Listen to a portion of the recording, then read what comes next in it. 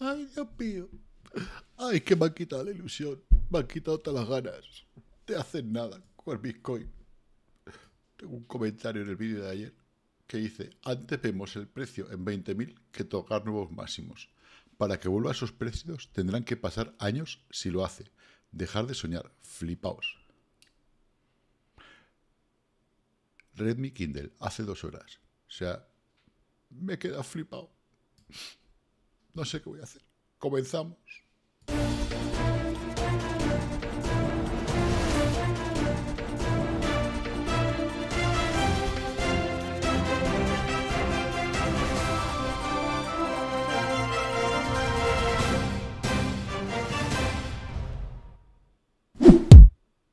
Suscríbete y dale a la campanita.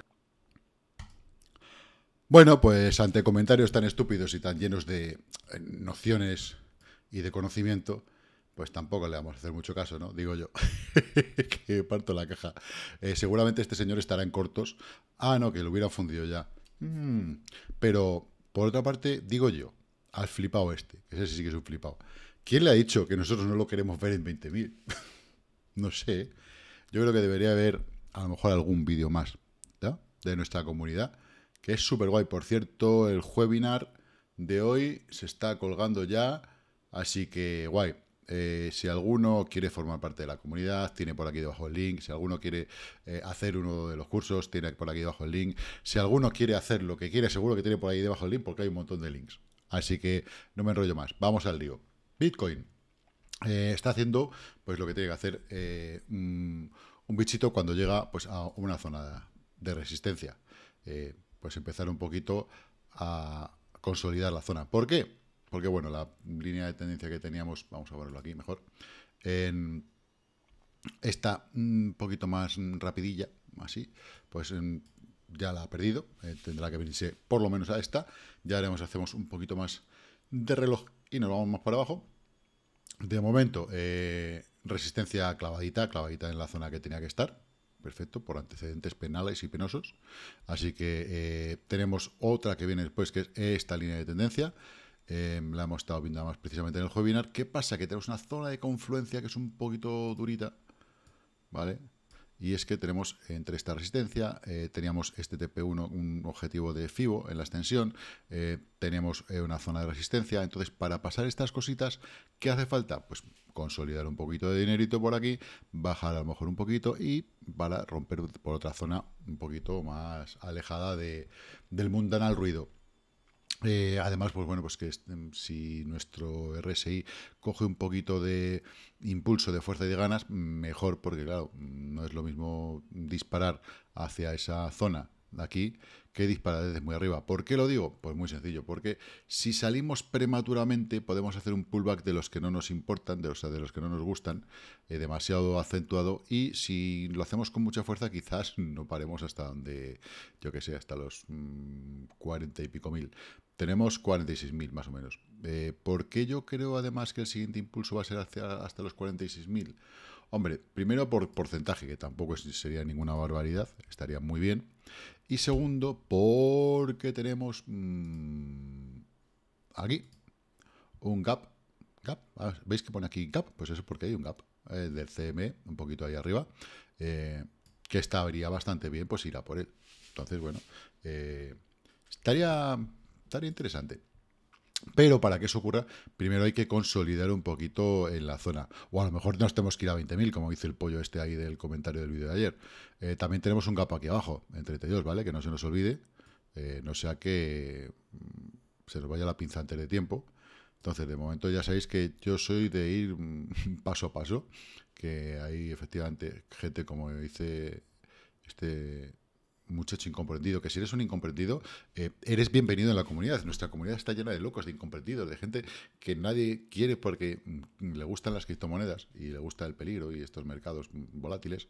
Eh, también nos gustan los mercados normales, es decir, que también hacemos em, cariñitos y mimitos a, otros mercados que, oye, pues también nos dan lo suyo, ¿no? Entonces, mm, ya te digo que puedes venir cuando quieras, que estés bienvenido. Zona interesante, ¿vale? La del gap, porque además tiene esta zona que fue un soporte, que va a ser una resistencia, entonces mm, puede, puede, estar, puede estar bastante divertido.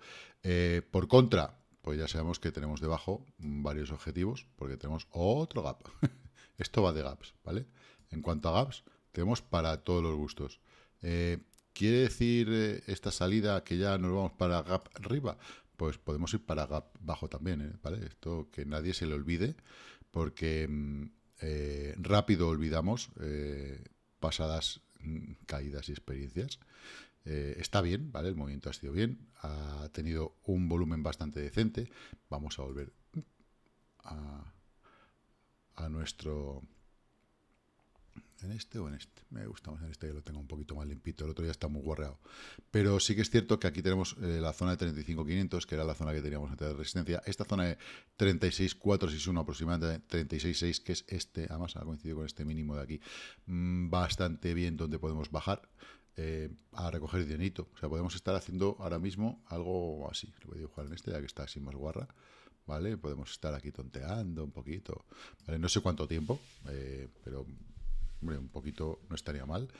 Eh, que yo, oye, que si rompe para arriba no tengo ningún problema, al igual que si se viene a los 28.750 que tengo aquí, que no me llegó, pues también. Y si se va a los 20.000, pues también. Para mí, mm, lo que me importa es que se mueva, hacia dónde se mueva, es, que, es que la de verdad, es que no, para mí no es importante. Bueno, yo prefiero que se mueva hacia arriba, ¿vale? Pero mm, si se mueve hacia abajo, pues tampoco le vamos a decir que no. Nos adaptamos. El trading es adaptativo, es flexible, muy, muy flexible. Eh, los que no quieran ser flexibles, pues que vayan a otro mercado, porque si no, la vayan a llevar clarinete. Voy a quitar el all-in-one porque no está haciendo tener demasiado ruido y no me mola. De momento los cruces de media son buenos, ya hemos visto como 50 ha cruzado 100 y 200 en una hora, 100 está a punto de cruzar 200 en una hora y la va a cruzar, evidentemente, porque está el precio muy arriba, así que bien por él. Eh, la cuestión es el diario, ¿vale? Yo, donde veo peligro es en el diario. Este TP1 original que tenemos, eh, a la zona de 44.000, es el centro, ¿vale? ya lo estuvimos midiendo además, aparte nos coincide con esta zona de soporte, eh, una antigua resistencia en esta zona mm, también tuvimos aquí, donde estamos ahora. Entonces, mm, ¿qué pasa con esta zona? Vale, pues os lo voy a explicar muy, lo vais a entender muy rápido, ¿vale?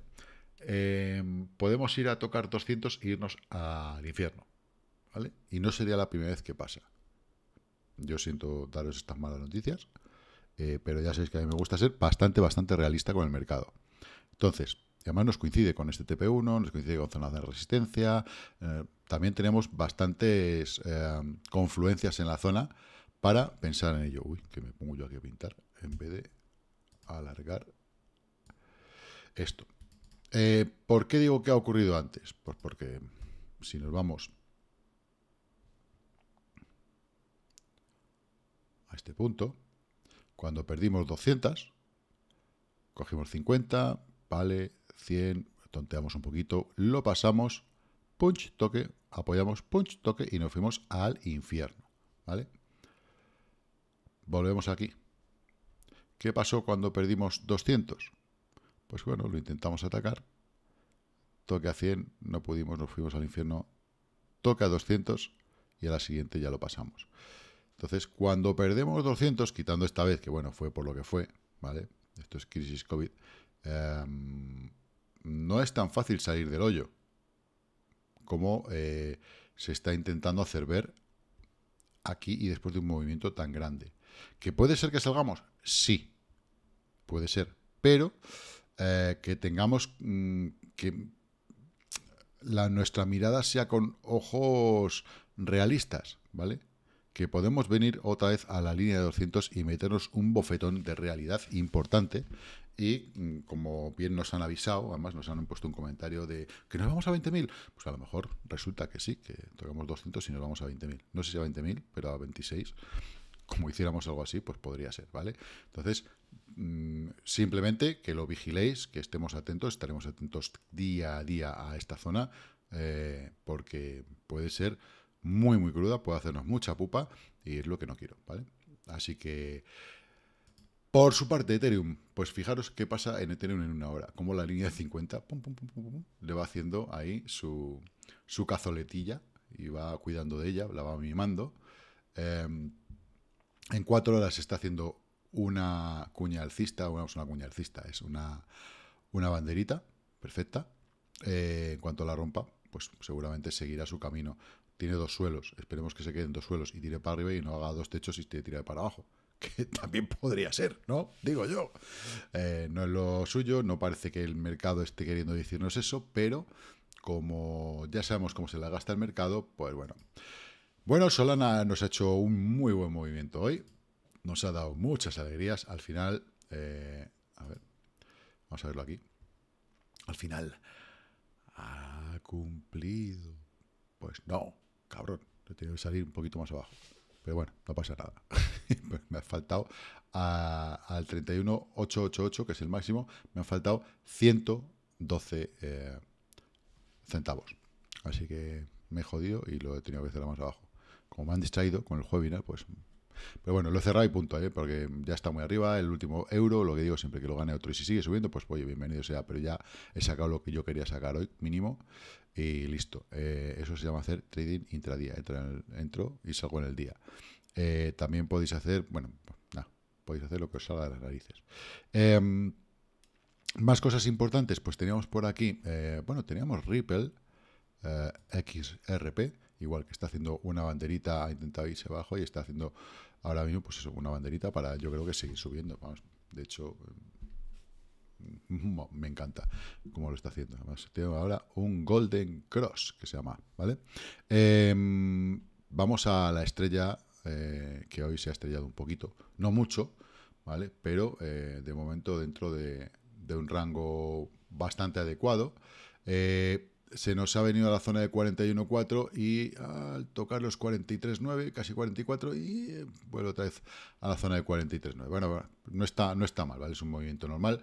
Fijaros cuando hizo este, como luego se escapó arriba, puede estar haciendo este y escaparse para arriba. Esto no tiene nada que ver, no quiere decir que vaya a hacer esto, ¿vale? Eh, así que lo voy a quitar porque puede dar lugar a error. Eh, que a lo mejor lo hace, pero que, no. De momento, a ver si se apoya en 50 y nos da una bonita oportunidad en la zona de 39. Eh, bueno, 39, 40, sí, incluso este, es que la, es que la zona que ha tocado, pero puede, sí puede bajar todavía un pelín. Entonces, bueno, está bastante, bastante bien, ¿eh? Lo de ASX, AX, perdón, AXS, los Axis me están, me están flipando y no sé, a lo mejor hay que buscar jugadores, hay que buscar granjeros o hay que buscar yo qué sé. Pero me parece, me parece tremendo y me parece que, eh, y a toda la comunidad le pido que si hay algún juego, eh, cualquier proyecto tipo juego, cualquier proyecto de estos, eh, os ruego, si es posible, que pongáis los me lo pongáis en comentarios, porque aquí es donde hay dinero. Es decir, los juegos son movimientos de masas. los grandes movimientos de masas en cualquier cripto, sabéis que mueve una barbaridad. Entonces es donde hay que estar es donde hay que estar. Eh, posiblemente, como hemos estado discutiendo en el webinar, el proyecto esté muy un mm, poquito inflado, a lo mejor necesitéis recordar un poquito, pero para que entren nuevos jugadores más que nada, ¿no? Porque el precio que es de entrada y eso, pues es un poquito caro. Pero bueno, mm, si hay jugadores que lo están comprando, evidentemente está siendo sostenible y está ahí tirando. Así que veremos a ver, veremos a ver. Pero estos hay que seguirlos muy, muy, muy, muy de cerca, pero muy bien el movimiento, o sea, muy bien. Ripple, bueno, está haciendo aquí ya un poquito el tontito ahora. Y por aquí tenemos el ejemplo de Ambrosus, de cómo puede hacer un cruce hacia arriba y salir disparado, ya veremos a ver. Eh, los pares Bitcoin, pues bueno, hay un poco de todo y tampoco le vamos a dar demasiada importancia. ARK, ARK tiene buena pinta. Si, si pasa la, la EMA 20, posiblemente ya tenemos precios aquí a la derecha, EMA 20, pueda tirar para arriba. Está bastante bien. Ya tiene la cruzada la línea de tendencia, hecho el pullback. O sea que puede tirar, puede tirar. todo depende de lo que haga Bitcoin. Es que es tremendo. ARRR, joder, Pirate Chain. Madre mía, Pirate Chain. O sea, está siendo algo, ha sido, de verdad, ha sido todo un descubrimiento. Gracias por haberme pasado porque ha sido todo un descubrimiento. Y está, fijaros cómo sube el volumen, pam, pam, pam, pam, pam, pam, a medida que sube el precio. O sea que está de momento de maravilla. Ya cuando empiece a bajar el volumen, aunque suba el precio, ya sabemos lo que hay, ¿no? Divergencia que hay que cuidar. Em, bueno, vamos a ganadores, perdedores directamente. Perdedores pocos. Ganadores, ah, bueno, Loom, eh, Pirate, Pirate, Pirate, PZX. Que, que de volumen, ¿no? muy bien. Solana, claro, bueno, Solana, es que, es que Solana, ¿qué vamos a decir? ¿Vale? Clavadito a la marca, un poquito más abajo, pero perfecto. Se ha comportado muy, muy bien, muy, muy bien. Eh, KC, mm, FED, un 10%, muy bien, está en un camino cojonudo. Steam, bien. Estamos en 4, ah, estamos en diario, joder, muy bien. A ver si consigue seguir, porque si no se ve un poquito para abajo. Eh, estoy hablando para el cuello de mi camisa y empezó a bajar el volumen. A medida, ya me he dado cuenta ahora, disculparme. El LISC contra Bitcoin, igual, si pasa la, la EMA 20, que está en 729, pues se podrá ir por lo menos al 835. O sea, son, pellizquitos. Alice muy bien, hoy se ha comportado. Bueno, hoy. Es que Alice lleva un, pepinazo igual, lo que, lo que digo. Estas cosas hay que estar en ellas. Eh, está en zona de resistencia, pero en cuanto la pase, puede entrar en zona desconocida, porque claro, todo este mechón para arriba y mechón para abajo es algo de la salida, es algo que no tenemos poco histórico, ya lo sabemos, pero pero cuidado, eh, cuidado con estas cosas porque pueden dar Coti muy bien, un sitio pico, perfecto, pero el problema de Coti es que está sufriendo mogollón toda esta calle. Hizo un doble techo y adiós. Eh, entonces, ha llegado a una zona de que es de soporte. A más clavadito, ¿eh? Uy. Patapum. Pas, pas. Pa, pa, pa. Toda esta zona. Pam, pam, pam. Se ha soportado ahí. A ver si aguanta y puede empezar a tirar arriba. mientras no cruce la EMA 20, igual. No hace absolutamente nada. Y bueno, pues ya empiezan a ser cosas ya un poquito más pequeñas, pero que no están nada, nada, nada mal. Nada mal. Y contra el par de las que tenemos aquí contra el dólar, que las voy metiendo a medida que me las pedéis, PERP. PERP, perfecto. Zona de resistencia, pan, pasada. Ahora lo ideal es que no haga lo que hizo aquí, sino que nos tenga una zona de soporte. Tenemos un hombro, cabeza, hombro que ha cumplido. Se puede ir muy arriba si termina de cumplirlo. Cuidado, ¿eh? ¿vale? O sea, tenemos, si lo veis, hombro, cabezón, hombro. Ojo, ojo al dato, ¿eh? Que se puede ir a 21, 22. Em, yo os lo digo, luego ya cada uno cada lo de la gana. Eh, bueno, Solana contra el euro, pues el subidón que hemos tenido, fantástico. Mm, pa, títer. Rose, un 10%. Eh, yo sé que hay gente intentando deshacerse de Rose, así que no sé, mm, a lo mejor es momento de tomar decisiones, ¿vale? Está pegando un pepinazo eh, super guay, está en zona de resistencia aquí del máximo anterior, pero por el, cuerpo que tiene se va a disparar, pero volando. Em, madre mía, ¿cómo está? Eh, MFT, ZTRX, todas están muy parecidas, hard, abrazando a la vela anterior, muy, muy, muy bien. Tita, un 4%. Pero perfecto, porque es para recuperar otra de la línea. Estoy intentando ahí que si la pierdo, que no la pierdo, que la pierdo. Esta línea es súper importante. Ya empezamos a tener cruces positivos. ¿Vale? ¿Por qué es importante? Por lo que digo siempre, ¿no? ¿Es importante o no? ¿A que sí? Pues eso. Entonces vamos a ver si la recuperamos y es capaz de, de volar un poco. Bueno, Monero. Monero muy bien. Lleva, fijaos que la cantidad de días que lleva. 1, 2, 3, 4, 5 y 4, 9 días seguidos subiendo. ¿Se puede subir durante 9 días? Pues claro que sí. Y ahí, lo, ahí tenemos la... Es que Bitcoin lleva subiendo muchos días. Pues puede subir más. Eh, muy bien en Gin. Por encima de la, de la zona de... Eh, bueno, que ahora es soporte de resistencia. Ahora es un soportito. A ver si sigue subiendo. Básica Tension Token. Otro pellizco interesante con cruce eh, positivo eso es muy bueno. Eh, dot. Perfecto. Lo que era resistencia, ahora pasa a ser soporte. Tenemos cruce también. A ver si nos, nos confirma una bola de dragón, que nos va a confirmar pues, en cuanto cierre la sesión mañana seguramente. Y tira para arriba. Tiene muy buena pinta todo. Esperemos que no venga alguien y nos lo eh, fastidie. Eh, Círica también bastante bien, ya tiene cruce, o sea que para arriba. Em, mana, mana, mana, un poquito más suave, pero Mana estaba bastante mejor que, que muchas de las, de las otras. Y en el lado de las perdedoras, pues bueno, eh, un poquito de Cardano, pero a ver, vamos a ir a porcentajes. Venga, Lina, ASX, normal. Tampoco ha perdido nada del otro mundo después de lo que es su vida que lleva, que es brutal. Ramp, 4%. Las, las pérdidas, la verdad es que son muy pequeñitas. Eh, un poquito Ripple, 3 y pico, Cava nada, 1.95, Link 1.94, son cosas muy normales. Sushi lleva cuatro días tonto. Eh, a ver si el apoyo en el MA 20 le sienta bien y tira para arriba.